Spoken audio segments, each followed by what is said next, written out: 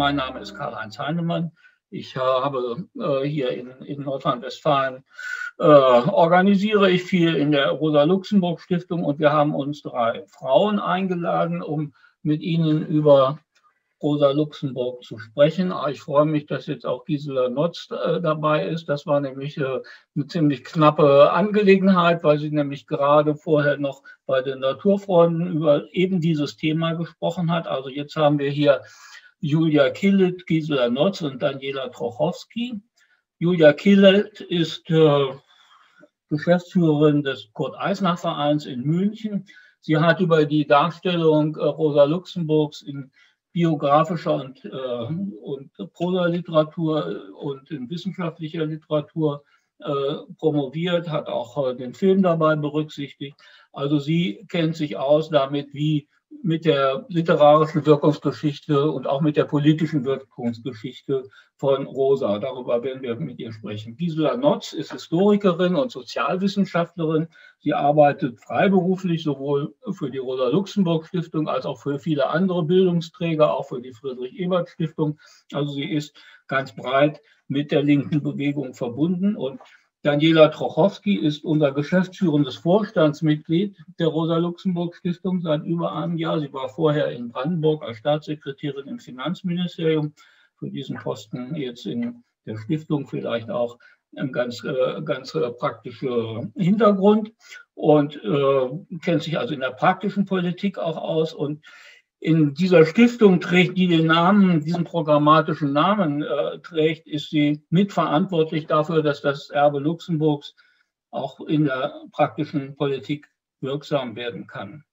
Also ich selber habe den Rosa Luxemburg begegnet 1968, 69, als ich in Frankfurt angefangen habe zu studieren.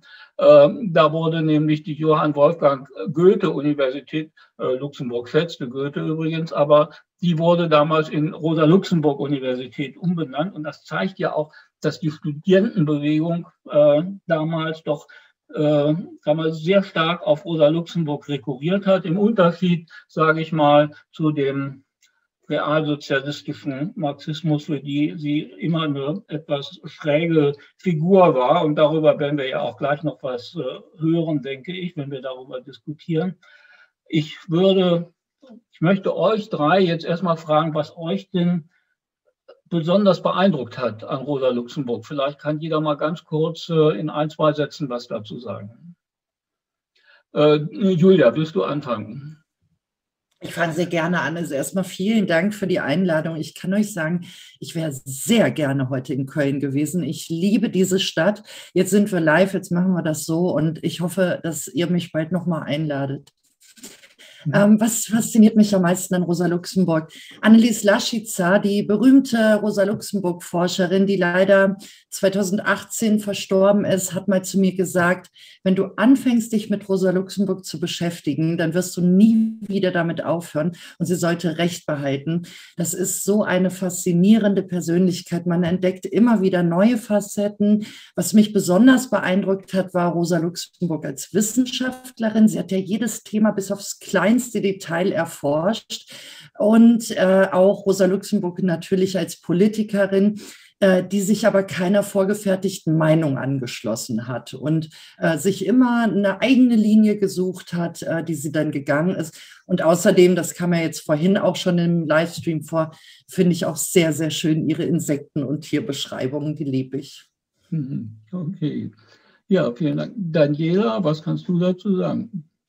Von mir auch erstmal äh, guten Abend. Und natürlich, Julia, wir holen alles nach, was wir jetzt in dem einen Jahr äh, nicht analog, nicht in Präsenz äh, durchführen konnten. Ähm, das werden wir auch schaffen, ähm, denke ich, äh, alle Veranstaltungen, äh, auf die wir jetzt nur digital zurückgreifen können, dann auch wirklich mal Auge in Auge und dann äh, auch mal wieder mit einem Händedruck ähm, durchzuführen. Ja, für mich sind das eigentlich vier Dinge, die kann man schlagwortartig nennen. für mich ist immer beeindruckend gewesen, ähm, ihre Streitbarkeit, also ihre Lust am Diskurs, ihre Lust an der Diskussion, ihre Wissenschaftlichkeit, ihre ja, politische Leidenschaft. Also sie hat sich ja kompromisslos und leidenschaftlich mit allen auseinandergesetzt. Ähm, Und, und ich glaube, das ist etwas, was auch für aktuelle Politikerinnen in, den, äh, in der linken Familie wichtig ist, ihre Integrität und ja, Aufrichtigkeit. Sie mhm. hat immer gemeint, was sie sagt und sie hat auch immer getan, was sie gesagt hat. Und das ist etwas, ähm, was man äh, sich von ihr abgucken kann, äh, vor allem ihre Integrität, ihre menschliche Integrität ähm, von ihr lernen kann und in die Gegenwart mitnehmen. Ja, vielen Dank. Und äh, Gisela, was meinst du? Ja, ich meine, auch wollte ich mich erstmal herzlich für die Einladung bedanken. Mich verbindet ja auch einiges mit dem äh, Köln-Bonner Raum. Ich wäre also auch gern dorthin gekommen, kann ich nur unterstützen. Aber ich finde es schön, dass jetzt äh, doch, dass wir uns hier treffen können. Anders geht es ja auch nicht. Und das hat ja den Vorteil, dass dann noch andere dazukommen können, die nicht dort wohnen. Ja, äh, was mich an äh, Rosa, ähm, die ich ja nun schon sehr lange kenne, auch so lange wie Karl-Heinz, obwohl sie da auch schon nicht mehr gelebt hat, äh, die, ähm, ja, äh, wie Daniela sagte, äh, dass sie eben, ähm, ja, man muss ja nicht in ihrem Kopf herumwühlen, ob sie das auch wirklich meint. Sie war so wie äh, mein Großvater gesagt hätte, eine geradlinige Sozialistin, äh, die eben äh, sich auch durchboxt und auch zu dem steht und äh, äh, selbst dann ähm, es offenbar einfach durchgehalten hat, auch im Gefängnis, obwohl es hart für sie war, wenn man die Briefe liest. Aber sie wusste, sie ist für ihre Überzeugung da und äh, dann muss man halt auch notfalls äh, finden das andere nicht so gut. Ähm, ja, äh, Annelies war ja wirklich eine begnadete Luxemburg-Forscherin. Ich hätte gerne noch ein Projekt mit ihr gemacht. Das ist mein Dilemma, das weißt du, äh, Julia. Aber dazu ist es eben dann nicht gekommen. Äh, und was mir auch an der Luxemburg gefällt, sie hat äh, privat so gelebt, wie sie auch politisch das vertreten hat. Also die, äh, das Private ist politisch sehr erst viel später zum Slogan der Frauenbewegung geworden. Aber sie hat das eben äh, schon auch äh, so gelebt und das fand ich gut an ihr. Und äh, sie war zwar keine Feministin, aber sie hat sich doch für Frauenrechte eingesetzt. Da stoße ich immer wieder drauf. Ja, da werden wir auch gleich noch hinten drauf kommen. Jetzt äh, muss ich doch noch mal einschieben, wo ihr alle so das bedauert habt, dass ihr nicht nach Köln kommen könnt. Ihr werdet es noch besonders bedauern, dass ihr nicht in, in dem wunderschönen Forum der Volkshochschule gelandet seid, dass ihr hier im Rautenstrauch-Jost-Museum direkt am Neumarkt ist und dort nicht auch äh, Frau Mayra kennengelernt habe, die ihr vorhin vielleicht im Bild gesehen habt, die äh, die politische Bildung in der Volkshochschule hier organisiert und mit der wir eine ganz tolle Zusammenarbeit auch gehabt haben bei der Vorbereitung äh, dieser Veranstaltung. Also ich denke auch, was mich besonders fasziniert hat an Rosa Luxemburg, ist, dass sie äh, so eine Einheit auch von Zielen, Inhalten und Methoden immer vertreten hat. Ne? Das ist ja sozusagen auch die Grundlage ihres berühmtesten Diktums. Ne? Man kann nicht äh, für die Freiheit kämpfen, indem man Freiheiten einschränkt. Und das ist eine Sache, die, äh, glaube ich, so für uns äh, eine ganz wichtige äh, Konsequenz auch aus Rosa Luxemburg ist. Äh, Julia, du hast dich ja jetzt mit der Wirkungsgeschichte äh, von äh, Rosa beschäftigt und irgendwo habe ich jetzt gelesen, die wurde totgeschwiegen. Äh, Im Westen totgeschwiegen, ja, also im Osten wurde sie auch heftig äh, beschwiegen oder sie wurde auch äh, irgendwie als, naja, also Luxemburgismus, das war so die Vorstufe zu Trotzkismus ungefähr. Ne? Oder wie ist das dazu gekommen? Ich meine, Lenin hatte doch eigentlich auch äh, die kannten sich doch sehr lange, die kannten sich aus Zürich und sie hatten, äh, ich meine, auch bei uns ist es üblich, dass man auch äh, Diskussionen führt, auch Meinungsverschiedenheiten austrägt, ohne dass man sich gleich in den Kerker wünscht oder gerade noch Schlimmeres sich an den Kopf wünscht. Wie viel Zeit habe ich? Also da kann man natürlich sehr, sehr viel drüber reden. Ich sage das jetzt erstmal ganz grob. Also ja. es gibt zwei politische Stigmatisierungen. In der DDR galt sie als die fehlerhafte Rosa, äh, die Rosa, mit, der, mit deren Werk man sich nicht auseinandersetzen sollte. Ähm, weil sie ja sich gewagt hatte, Lenin zu kritisieren. Und äh, auf der, in der BAD, da galt sie als die blutige Rosa, die Rosa Luxemburg, die Deutschland mit der bösen bolschewistischen Revolution ins Verderben stürzen wollte. Und äh, das kann ich jetzt äh, natürlich ausführen, aber eigentlich ging es schon los ähm, in der Weimarer Republik. Da begann schon ein Zerren an der toten Rosa Luxemburg. Die KPD ähm, wollte Rosa Luxemburg für sich vereinnahmen. Rosa Luxemburg war zwei Wochen KPD-Mitglied gewesen. Sie hatte sich zwar auf dem Gründungsparteitag noch für Sozialistische Partei ausgesprochen, aber das wurde abgelehnt. Und die USPD, die sagte, nein, Rosa Luxemburg gehört zu uns. Da gibt es dann diese wunderbare Biografie von Luise Kautsky, ähm, die äh, 1929 erschienen ist. Und Luise Kautsky sagt, Rosa Luxemburg war eine internationale Sozialistin, fast ihr ganzes Leben lang in der SPD und ja, gehört sie dann doch zu uns. Und daran sieht man auch schon, wie verhärtet die Fronten zwischen KPD und SPD, also in dem Fall jetzt USPD waren. Und äh, der Luxemburgismus, das ist ein negativer Begriff. Das begann eigentlich 1922. Da war Rosa Luxemburg schon drei Jahre tot. Da äh, gab Paul Levy, der gerade aus der KPD ausgeschlossen wurde, ihre Schrift zur russischen Revolution heraus heraus. Und in dieser Schrift, die hatte Rosa Luxemburg verfasst 1917 zur russischen Revolution, hatte sie geschrieben, natürlich hat sie die russische Revolution voller Begeisterung begrüßt, aber sie hatte auch einige Kritikpunkte. Sie kritisierte äh, den politischen Terror und aber auch fehlende demokratische Strukturen. Sie sagte, eine sozialistische Gesellschaft kann nur aufgebaut werden mit Meinungsfreiheit, Pressefreiheit, Organisations- und Versammlungsfreiheit Meinungsfreiheit. Das kritisierte sie also. Diese Schrift erschien und Lenin sah seine Revolution angegriffen und antwortete darauf mit einem sehr berühmten Zitat, äh, das in die Geschichte eingegangen ist, aber das auch zu Rosa Luxemburgs rezeptionsgeschichtlichen Schicksal werden sollte. Viele werden das kennen. Da beschreibt er Rosa Luxemburg als ein Adler, also als eine sehr bedeutende Frau der Arbeiterinnenbewegung. Aber gleichzeitig sagt er, sie hatte so viele Fehler und dann kommt er mit seinen fünf berühmten Irrungen der Rosa Luxemburg und ähm, zählt praktisch ihre Fehler auf. Und dieses Zitat von Lenin wurde jetzt genutzt von der Kommentaren und nachher auch von der KPD, äh, um Rosa Luxemburgs Werk oder ihr Denken zu diffamieren. Ähm, und äh, ja, vielleicht erstmal so viel dazu. Oder ich kann vielleicht noch darauf hinweisen, dass ähm, dieser Luxemburgismus, diese Diffamierung darin gipfelte, dass Ruth Fischer, eine KPD-Abgeordnete, Rosa Luxemburgs Denken mit einem Syphilis-Bacillus verglich. Also da kann man mal sehen, ähm, in welche Richtung das in äh, der Kommentaren in der KPD gegangen ist. Und dieser Luxemburgismus zog sich eigentlich bis in die 1990er Jahre hinein.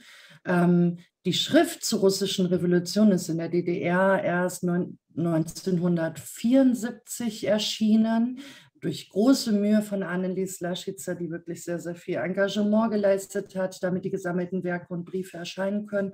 Und in Moskau erschien die Schrift tatsächlich erst 1990. Gerne würde ich jetzt noch viel mehr sagen, auch zum Thema Luxemburgismus in der DDR und das Bild der blutigen Rosa in der BAD. Aber ich will jetzt auch nicht die ganze Zeit Monologe halten. Also vielleicht darf mhm. ich gleich noch mal drankommen. Genau, ich meine, wir müssen hier sicherlich noch darüber sprechen, wie sie in der Bundesrepublik wahrgenommen wurde, auch welche Rolle sie gespielt hat. Ich meine, das war ja auch 89, haben sich ja dann auch viele mhm. auf sie berufen mhm. äh, in den, in den, äh, in den äh, Protestbewegungen, auch in, im Realsozialismus. Aber vielleicht sollten wir wirklich erstmal auch andere noch zu Wort kommen lassen.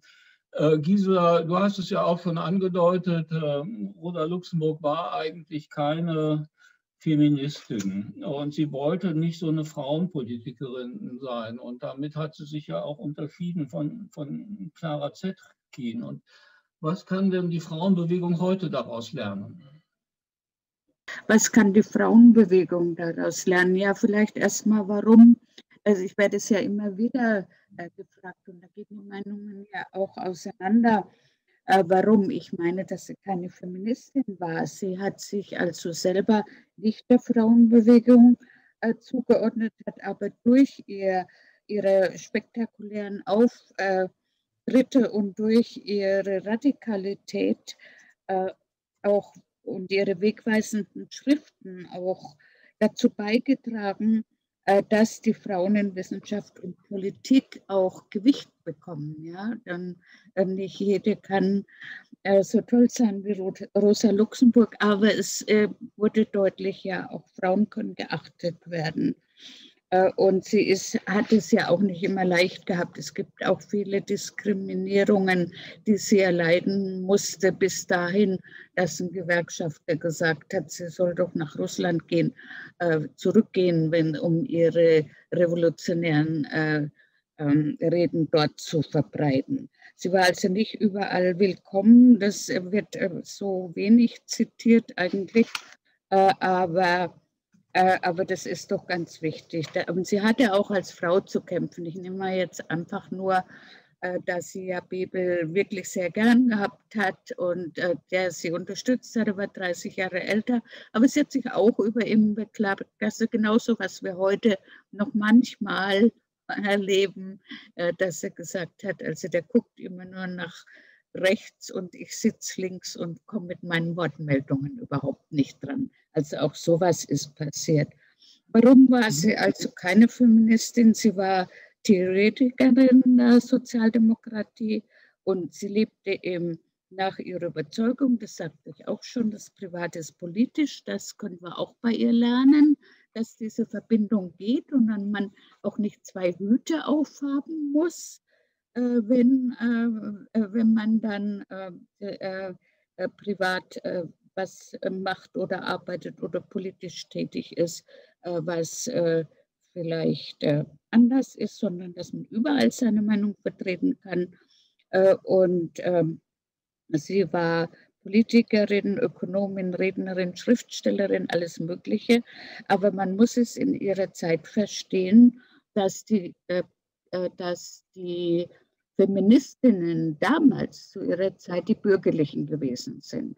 Und die Trennung zwischen äh, äh, ja, Sozialistinnen und Bürgerinnen, das wird, wird zwar heute nicht mehr so deutlich, aber es kommt immer noch vor. Es wird selbst von Historikern abgestritten, dass es damals so war. War es aber. Und es ist heute auch noch so, dass eine Frau, äh, die ein Dienstmädchen einstellt, ich sage mal eine Frau aus äh, der mittleren äh, Klassenebene, äh, dass die und gerade eine, die viel Geld hat, hat doch andere Interessen als so ein Dienstmädchen, das sie anstellt, für das sie zwar Kaffee kocht, aber wo sie eigentlich äh, ähm, ausnutzt, weil es meistens schlecht bezahlt ist und so weiter. Also das mhm. äh, können wir auch von ihr lernen, dass äh, dass diese Klassenverhältnisse einfach zu berücksichtigen sind und dass wir nicht denken, durch Wohltat jetzt an geflüchteten Frauen oder migrantischen ähm, Frauen aus der anderen Welt, dass wir da besonders Gutes tun. Das ist schon ganz wichtig. Es gibt immer noch Klassen, wenn sie auch anders sind, als sie früher sich ausgedrückt haben. Und das ist, äh, sie hat ja ähm, dafür gekämpft, äh, dass alle Menschen, also ihr Emanzipationskonzept schloss alle Menschen ein und es sollte für alle Menschen gelten. Und sie war der Meinung, wenn die sozialistische Revolution stattgefunden hat, dann sind alle Menschen, ob Frauen, ob Männer, egal welches Geschlecht, sind die äh, mit einbezogen und so. Äh, und es geht eben um den Kampf aller Ausgebeuteten ohne Unterschied des Geschlechts gegen alle Ausgebeuteten.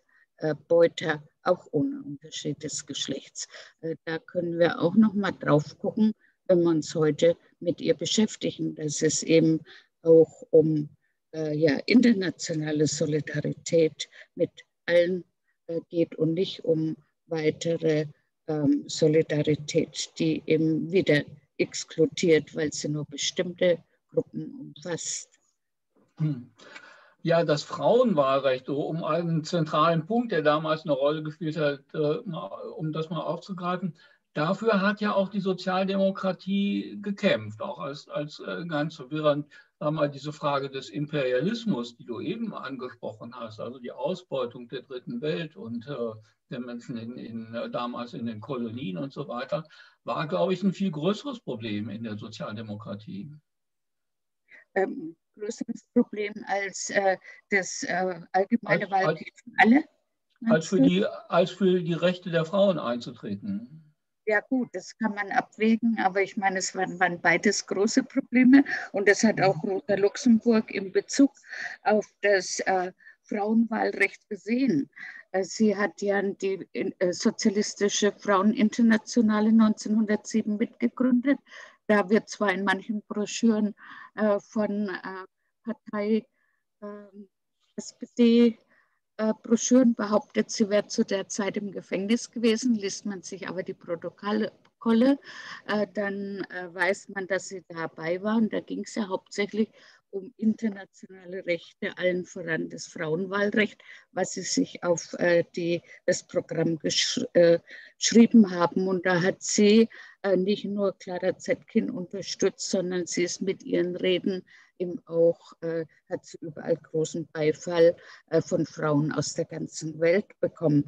Und da hat sie auch 1912 äh, da gibt es sogar eine Broschüre drüber. Her mit dem Frauenwahlrecht hat sie gefordert bei einer Veranstaltung äh, in Stuttgart beim Internationalen Frauentag. Also da können wir auch an sie denken. Der ist ja auch äh, in ein paar Tagen äh, der mhm. Internationale Frauentag. Genau. Äh, und, äh, und sie hat sich sehr eingesetzt dafür, dass die Frauen eben da die gleichen Rechte haben. Aber sie hat gesagt, es darf nicht Frauensache allein sein, sondern die Männer müssen da auch mit einbezogen werden in den mhm. Kampf. Das war ihr ganz wichtig, weil sie war eben gegen die Monarchie, hat sie damals gesagt. Das sind eben die großen ähm, Fehler, die eigentlich total äh, jetzt abgeräumt werden müssen. Und es war die Monarchie und die Rechtlosigkeit der Frauen. Also sie mhm. hat aus für Frauen Politik gemacht, auch mhm. wenn sie eine Feministin war. Mhm. Ja, das war ja auch äh, weitgehend sozusagen Politik für eine Demokratie, für eine umfassendere Demokratie. Und ich denke mal, das ist ein Punkt, wo wir heute uns einig sind, dass es, äh, was sie damals äh, vertreten hat, dass wir da äh, uns voll mit identifizieren können, auch mit dem berühmtesten Diktum von ihr, mit der Freiheit der Andersdenkenden, was mhm. damals ja die Auseinandersetzung auch mit der, mit der russischen Revolution und mit äh, Lenin war. Aber es gibt andere Punkte, wenn man mal ihr Werk studiert, wo ich denke, ja, das trifft natürlich auch irgendwie in die Auseinandersetzungen, die wir heute in der Linken haben. Also wenn es um das Verhältnis von Reform und Revolution äh, geht, ne, sorgt, die, sorgt die Arbeiterbewegung nicht dadurch, äh, dass sie äh, Reformen im Rahmen des Kapitalismus durchkämpft, nicht immer wieder dafür, dass äh, der Kapitalismus auch wieder in einer gewisser Weise stabilisiert wird. Ne? Das ist ja eine Sache, mit der sie sich auch sehr auseinandergesetzt hat. Das trifft natürlich irgendwo auch in die Auseinandersetzungen, die wir heute haben, wenn es darum geht, äh, wollen wir, wollen wir eine rot-rot-grüne Regierung und wollen wir uns beteiligen daran oder sagen wir, das ist alles im Rahmen dieses kapitalistischen Systems, ist das alles, führt das alles zu nichts. Daniela, das sind doch Fragen, mit, der, mit denen sich die Stiftung auch intensiv auseinandersetzen müsste. Ja, ich glaube, damit setzen wir uns auseinander. Ähm, nee, ich glaube nicht nur, sondern ich weiß das auch in ganz äh, vielfältigen ähm, Schriften, sowohl was, ich sag mal, die Pflege ihres äh, Werkes anbelangt und auch die Bewertung äh, ihres Werkes, ihres historischen Werkes. Also sie hat ja zu sehr unterschiedlichen Fragen der Gesellschaft auch äh, geschrieben, begonnen von der Ökonomie. Das ist für mich als Volkswirtin ja äh, auch immer interessant, äh, bis hin zur äh, nationalen Frage, ja auch eine Frage, die die Linke vor einigen Jahren ähm, ja sehr intensiv diskutiert hat, wenn man so will. Ähm, das ist ein Punkt, glaube ich. Ähm, du hast vorhin von Erbepflegen gesprochen, ähm, wo wir so ein Stück weit in ihrem Sinne agieren. um ähm, auch ihr geschriebenes Wort in die Gegenwart zu holen. Aber ich glaube, dass wir in äh, unseren Arbeiten des Institutes, in den wissenschaftlichen Analysen, aber auch in der politischen Bildungsarbeit auch ganz äh, in ihrem äh, Sinne agieren. Also die Fragen zu verbindender Klassenpolitik sind, glaube ich, ähm, eher ganz zentrale Fragen, die sich heute stellen. Gisela hat vorhin gesagt, Klassen im damaligen Sinne ähm, erscheinen möglicherweise heute anders, aber es gibt sie trotzdem.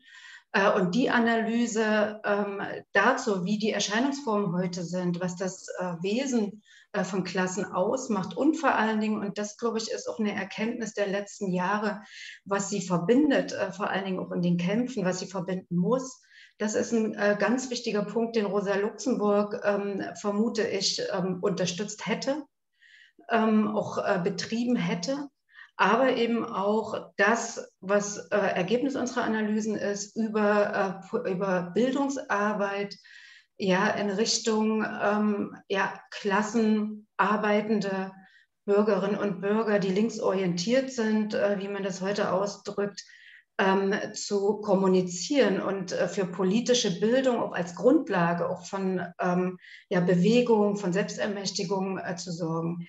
Das sind, glaube ich, ganz äh, zentrale Punkte, ähm, mit denen äh, man ja ihr Werk in die Gegenwart holt und was für mich immer besonders wichtig ist, ähm, es geht da nicht darum, ihre Werke diskussionslos, widerspruchslos, so wie wir das ja äh, in der DDR oft erlebt haben mit den Werken der Klassiker, äh, der sozialistischen Theorien äh, zu konsumieren und äh, über bestimmte Passagen zu diskutieren, sondern es geht darum, sich daran zu reiben, darüber zu diskutieren und äh, zu überlegen, was das heute bedeutet, was wir heute daraus lernen können und was möglich, möglicherweise auch die Irrtümer der Zeit gewesen sind ähm, und was man aus diesen Irrtümern lernen kann. Ich glaube, das würde ihr sehr gefallen, weil ähm, sie ja explizit keine Ikone äh, sein wollte, kein, keine Person, die auf den Sockel gestellt wird, sondern immer Partnerin auf gleicher Augenhöhe.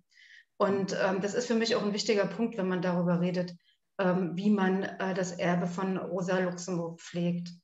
Mhm. Ein Punkt äh, zur Frage Revolution ähm, von mir noch. Ich glaube, das ist so ein Punkt, wo ähm, im also in der Auseinandersetzung oder seit der Auseinandersetzung zwischen ihr und der Sozialdemokratie doch schon viele äh, Jahre ins Land gegangen sind. Ich glaube, die große Lehre der letzten Jahre oder der letzten Jahrzehnte ähm, ist, also für mich persönlich jedenfalls, ist, dass jede Revolution ihre Träger braucht.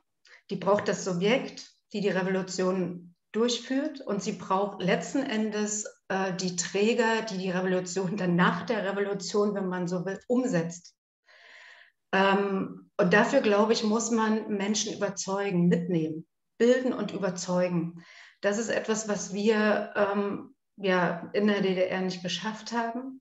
Was für mich immer noch eine offene Frage in der Diskussion ist, wie man das schafft, ähm, Träger, Trägerinnen äh, von Revolutionen zu finden. Wir reden ja heute in der Stiftung auch von der sozial-ökologischen Transformation.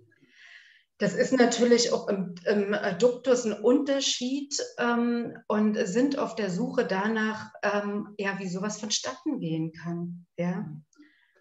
Sind wir mit so einem Begriff äh, von der Transformation nicht kräftig auf dem Weg äh, zu Bernstein, ähm, äh, der nun also sagt, es gibt einen Übergang äh, durch eine Reihe von Reformen, werden wir sozusagen das System verändern und werden wir die Machtfrage lösen ich meine, vielleicht ist es ja auch wirklich so, wie du sagst. Ich meine, wir sollten jetzt nicht äh, sozusagen wortgläubig alles übernehmen, was äh, Rosa Luxemburg gesagt hat. Es gibt ja andere äh, Theoretiker, also wie Gramsci oder so, die, äh, wir, die vielleicht für uns heute in der Beziehung, was äh, die Strategie äh, des Kampfes um die Macht angeht, vielleicht bedeutsamer sind, als es Rosa Luxemburg war und wo es ja auch Widersprüche gibt. Hm? Naja, jetzt sag mal, also ich würde jetzt nicht sagen, dass wir ähm, uns auf dem Weg ähm, zu Bernstein begeben. Vielleicht auch, weil ich da so ein Stück weit traumatisiert bin aus der Debatte, äh, die ich ja selber miterlebt habe in der mhm. DDR. Das war ja immer wirklich die äh, Grundauseinandersetzung. Ähm, die äh, Debatte hatte, die war ja auch sehr ambivalent zu Rosa Luxemburg. Man hat die schon positiv gepflegt, weil sie sich eben mit dieser Revisionismus-Theorie und mit Opportunismus in der SPD auseinandergesetzt hat äh, wozu Bernstein gezählt wurde. Ich würde das äh, so formulieren, wie du das eigentlich, ähm, ich sag mal, also deinen letzten Gedanken formuliert hast. Man muss neu über Machtperspektiven nachdenken, über mhm. Veränderungsmöglichkeiten, äh, Veränderungsperspektiven. Und da rede ich jetzt nicht, ähm, weil der Parteitag ja gerade hinter uns liegt, von der äh, Beteiligung an der Bundesregierung, sondern ähm, um Veränderungen herbeizuführen. Ich glaube, dass die dringend nötig sind, äh, Veränderungen sowohl im Wirtschaftssystem als auch im politischen, sozialen System herbeizuführen, ähm, muss man sich heute schon überlegen, wie man zu diesen Veränderungen kommt, wie man äh, Perspektiven aufzeigen kann, wie man ähm, ja, Macht also entfalten kann und Menschen überzeugt, den Weg mitzubeschreiten, weil ansonsten ähm, ist das ein Weg in die Sackgasse und ähm, ist auch ein sehr kurzlebiger, kurzfristiger Erfolg. Ja. Und ähm, in die Debatte müssen wir uns als Linke begeben. Ich glaube, da gibt es ganz verschiedene Formen, äh, auch jenseits der Regierungsbeteiligung. Ähm, denn wir sind ja auch dabei, ähm, als Linke Menschen zu unterstützen, sich selbst zu ermächtigen. Dieses Wort finde ich so schön. Sich zu ermächtigen, ihre Interessen zu vertreten. Und zwar ähm, sowohl als bestimmte soziale Gruppen als auch in einer Vielzahl äh, von Gruppen gemeinsam Interessen zu vertreten und an vielen Stellen auch, ähm, ich sag mal, Profitmaximierung, Kapitalbedingungen zu verändern. Ja, dort einzugreifen und Sand ins, ins Getriebe zu, äh, zu äh, werfen. Und ich glaube, das ist unsere Aufgabe, das immer wieder in der Gesellschaft zu, ähm, zu fördern, zu pushen und diese Menschen zu unterstützen. Mhm. Wenn man sich zum Beispiel diese äh, Initiative, die wir hier unterstützen, die wir ja auch in der Opposition schon unterstützt haben in Berlin, ähm, Deutsche Wohnen enteignen ansieht, dann geht das ganz knallhart an die Existenz von bestimmten Konzernen.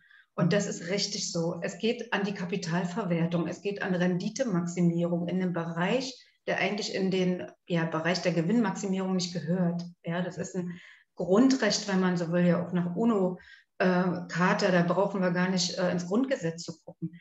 Und da glaube ich, ähm, also verstärkt solche Projekte, ob in der Regierungsbeteiligung oder in der Opposition, in der Gesellschaft anzufassen und zu pushen, das ist, glaube ich, etwas, wo man wirklich ganz massiv eingreift. Mhm. Ich glaube, wir sind ja heute auch weiter ähm, von der Perspektive einer Revolution entfernt, als es äh, zu Beginn des letzten Jahrhunderts äh, gewesen ist und worauf es, glaube ich, ankommt heute, was man eben von Rosa Luxemburg auch aus diesen äh, Schriften, also über Bernstein und Massenstreik und so weiter entnehmen kann, ist der Glaube an die Massen, ne? also an die äh, und, und auch an die, wie du eben sagtest, die Selbstermächtigung. Das heißt, sie müssen selber lernen ne? und äh, das bedeutet natürlich auch irgendwie ein anderes Verhältnis zur Partei, als es so die leninistische Auffassung gewesen ist. Aber vielleicht wollen die beiden anderen äh, Kolleginnen, Genossinnen. Vielleicht nur ein Gedanken, Karl-Heinz. Äh, ja. Wir müssen das alle lernen. Wir mhm. gemeinsam. Nicht die mhm. Massen, sondern wir gemeinsam auch als Linke müssen das lernen, glaube ich. Ja, da hast du völlig recht. Ja. Ja. ja ich würde auch noch gerne was dazu sagen? Ja.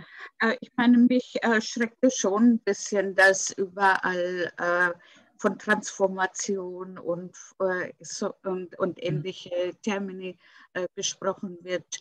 Äh, und mich erschreckt auch, dass äh, die Bernsteinsche Reform statt Revolutionstheorie wieder modern ist unter den Linken, also jedenfalls beobachte.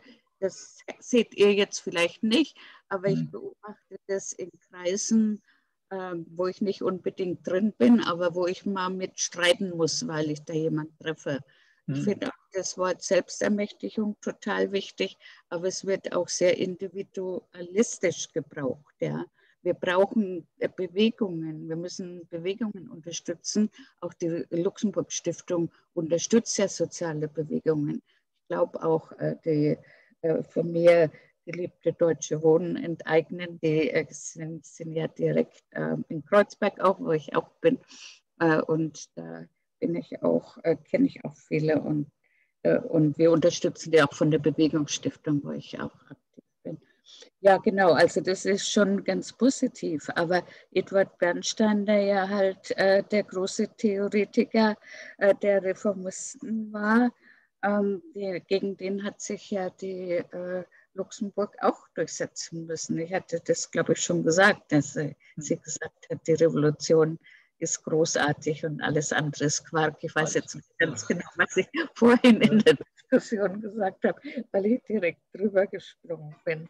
Äh, ja, und äh, auch, äh, dass Solidarität wieder benutzt wird, aber es wird auch oft äh, inklusiv äh, benutzt anstatt exklusiv, dass eben Gruppen sich äh, nur bestimmte Gruppen nur damit gemeint sind.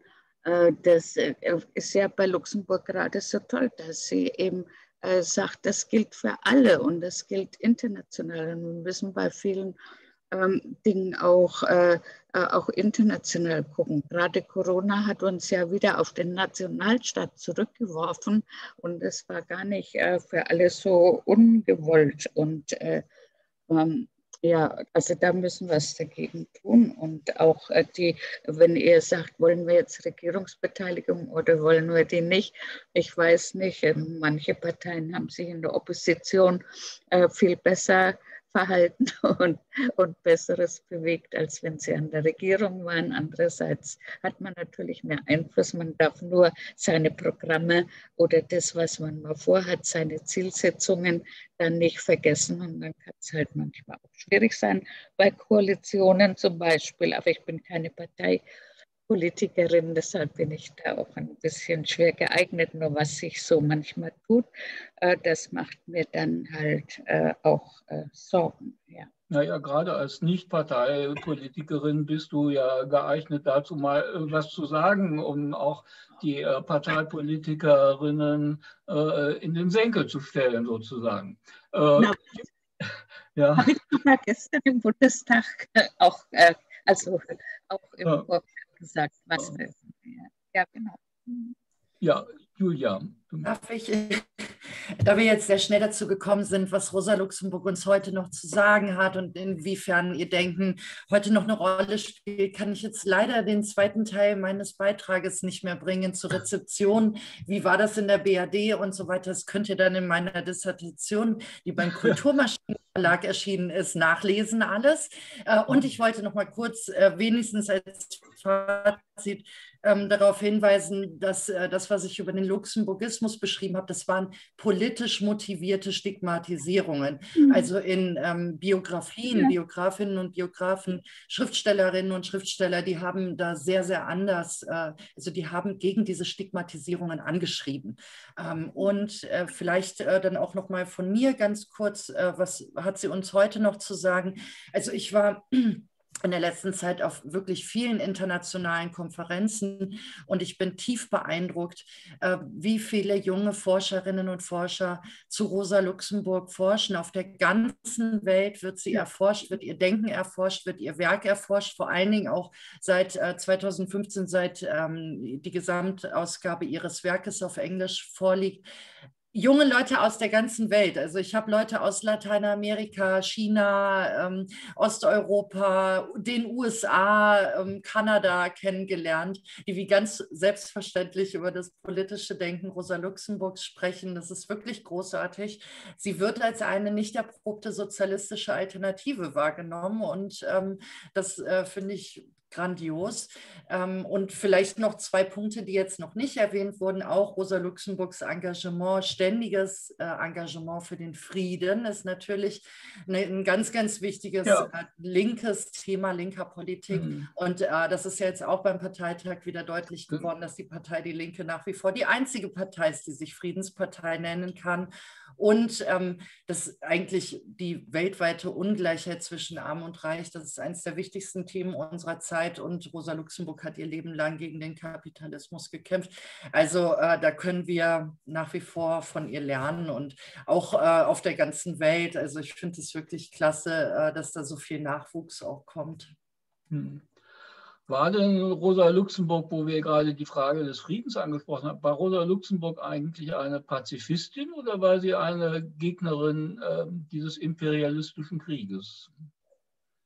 Ja, also ich würde sie schon als Pazifistin bezeichnen. Ich benutze sehr oft diesen einen, weiß jetzt nicht ganz genau auswendig, wo sie eben sagt, und wenn wir aufgefordert werden, auf unsere äh, Brüder in ja. Damals waren es eben Brüder, jetzt sind ja auch Schwestern dabei bei der, äh, beim Militär, was ja mhm. auch kein emanzipatorischer Fortschritt ist. Also wenn wir auf unsere Brüder schießen müssen und wenn uns das befohlen wird, dann sagen wir, nein, das tun wir nicht. Da habe ich mit meinen Studis auch immer drüber gesprochen, weil das ist so ein klarer Satz, der ist nicht anders zu interpretieren, äh, als äh, äh, dass wir das eben, nein, das tun wir nicht, dass man das laut und deutlich sagen muss. Und ich denke auch immer dran, wenn ich im Zug fahre und wenn ich Corona Pandemie ist, fahre ich sehr oft Zug und ich sehe diese jungen äh, schmucken Männer in ihren Armeeanzügen, dann denke ich immer dran. Und wenn wir gebeten oder wenn wir aufgefordert werden, nein, das tun wir nicht, da möchte ich gerne mit Ihnen darüber diskutieren. Mhm. Ja, das ist natürlich. Ja, Julia, gut. Mhm. Also natürlich auf Bezug auf den Ersten Weltkrieg gebe ich dir recht. Ähm, aber sie hat Gewalt nicht abgelehnt. Also sie wusste schon, dass eine Revolution durchaus auch mit Gewalt stattfinden muss. Sie sah das nur nicht als Aufgabe der SPD äh, oder der Partei, eine Bewegung zu bewaffnen. Aber ähm, also Waffengewalt in der Hinsicht hat sie nicht abgelehnt. Ähm, und äh, genau, also ja klar, in Bezug auf den Ersten Weltkrieg. Aber ich würde sie selber nicht als Pazifistin bezeichnen, eher als Kriegsgegnerin, als Antimilitaristin. Mhm. Aber als Pazifistin, so weit würde ich tatsächlich nicht gehen. Naja, das äh, geht ja auch in diese aktuelle Diskussion, wie sie auch in der Linken geführt wird zurzeit. Ne? Äh, kann man unter bestimmten äh, Bedingungen eben Gewaltmonopol ähm, der Vereinten Nationen auch äh, Kriegseinsätzen zustimmen oder sagen wir nein, wir nehmen nie eine Waffe in die Hand. Ich meine, da werden wir wahrscheinlich keine gemeinsame Antwort jetzt äh, finden und es gibt ja auch in der Linken darüber Debatten. Oder Daniela, wie siehst du das?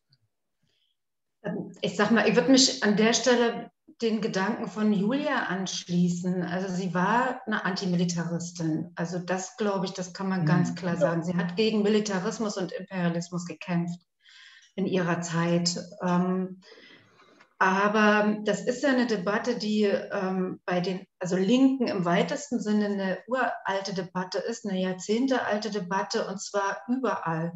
Überall, wo Revolutionen stattgefunden haben, weil es gibt ja scheinbar einen Widerspruch zwischen dem Vertreten ähm, von Revolution als Ausgangspunkt für Veränderung und Pazifismus, weil ähm, Revolutionen jedenfalls der Erfahrung nach und auch der Theorie nach nicht gewaltfrei durchgeführt werden. Das ist einfach der Punkt.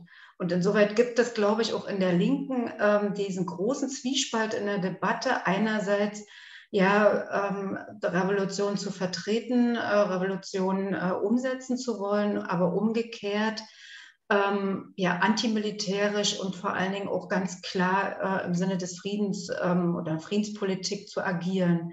Ich glaube, dass man diesen Widerspruch auflösen kann oder dass sich äh, das durchaus unter ein Dach bringt, aber Pazifismus äh, kann man das nicht nennen. Und ähm, ich weiß nicht, ob man so weit gehen würde. Da müsste Julia mir mal helfen, dass man die Linke als pazifistische Partei ähm, bezeichnen kann. Sie ist auf jeden Fall eine ganz äh, klare äh, Partei äh, einer friedlichen Außenpolitik. Das ist ja jetzt auch wieder ganz deutlich geworden, einer internationalen Friedenspolitik beziehungsweise einer Friedenspolitik nach außen und nach innen.